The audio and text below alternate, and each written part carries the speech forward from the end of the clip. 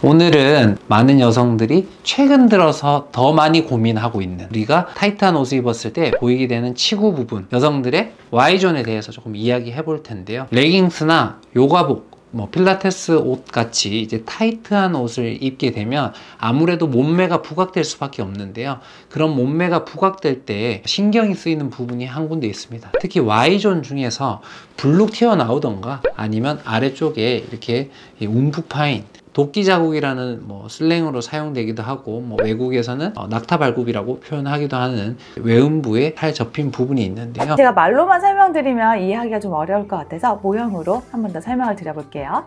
요거는 우리 골반뼈 모형이에요. 그래서 뼈, 골반뼈가 있고 그 안쪽에 방광, 자궁, 장까지 있는 거고요.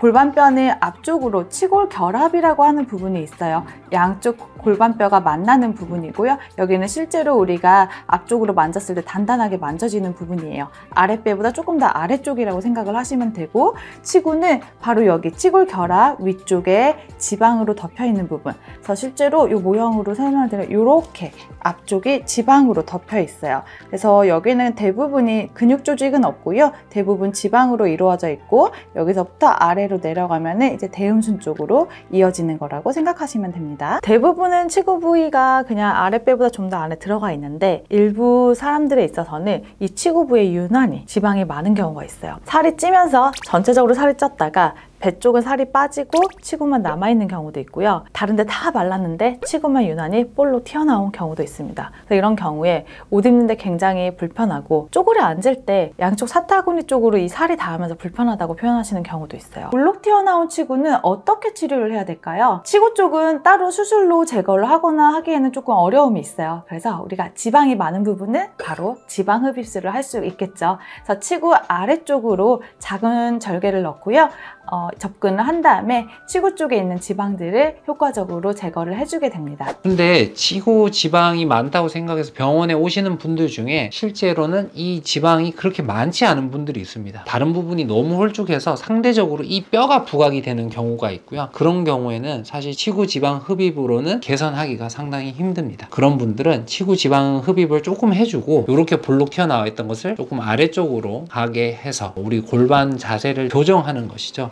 그래서 골반 도수 치료를 같이 하면 단순히 치구 지방만 제거를 했을 때는 한계가 정해져 있다면 골반 자세를 좀 교정해 줌으로써 효과를 극대화할 수 있습니다. 실제로 아래쪽이 너무 통통하니까 진짜 이걸 보면서 스트레스를 너무 많이 받기도 해요. 왜 유난히 난 여기만 이렇게 나왔을까라고 생각을 하시거든요. 결국은 만족도는 거기에서 차이가 나는 것 같아요. 내가 정말 오롯이 지방만 많이 튀어나와 있냐 아니면 약간 뼈가 돌출되어 있고 거기 위에 지방이 또 튀어 나와 있느냐에 따라서 이 만족도가 차이가 있을 것 같은데 뼈가 조금이라도 돌출이 되어 있으면 지방을 아무리 우리가 많이 뺀다 하더라도 돌출된 뼈 때문에 여전히 조금 나와 있는 느낌이 들 수가 있거든요. 뼈 자체가 아예 들어가 있는 분들은 지방만 빼주면 라인이 정말 정리가 잘 돼요. 저희가 상담하고 이럴 때 뼈가 어느 정도 나와 있긴 하다. 그래서 어느 정도까지 얼마나 빠질지 이런 거에 대한 좀 상담도 시술 전에 미리 충분히 드리는 게 중요할 것 같다는 생각이 또 듭니다.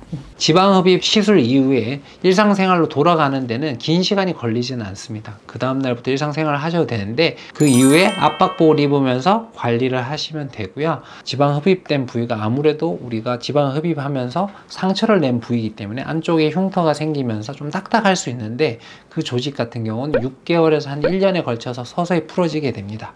그 조직이 만약에 풀어지지 않는 경우에는 어, 그 부분에 고주파 처치를 하면서 부드럽게 만들 수 있긴 한데요. 일단 시간이 어느 정도 걸린다는 사실은 생각해 두시면 좋겠습니다. 내가 살이 많은지 적은지 병원을 방문하셔서 같이 이야기해 보는 게 가장 좋겠지만 당장 확인하실 수 있는 방법은 내가 이 치구에 있는 앞부분을 이렇게 한번 잡아 보시고 좀 두툼하게 잡힌다 싶으면 지방이 있는 거고요. 잡았는데 살이 얇게 잡힌다. 볼록 튀어나오긴 했지만 얇게 잡힌다면 뽑아낼 지방은 별로 없다. 이렇게 보시면 되겠습니다. 치구는 운동만으로 관리할 수 있는 지방이 아니에요. 그렇기 때문에 우리가 다이어트 후에 체중 감량을 충분히 했는데도 Y존이 볼록하게 튀어나오거나 타이트한 옷을 입었을 때 오태가 나지 않는다라고 하면은 치구의 지방 흡입술을 고려해 보실 수가 있습니다. 더불어 대음순 쪽의 지방도 고민이 된다면 대음순 절개술을 통해서 효과적으로 Y존 관리를 해볼 수 있습니다. 혼자 고민하는 것보다 분명히 더 좋은 방법이 병원에 있습니다. 어, 이번 찾아올 봄 그리고 여름 이제 입을 레깅스에 맞는 가장 좋은 핏을 찾으실 수 있으면 좋겠습니다. 감사합니다.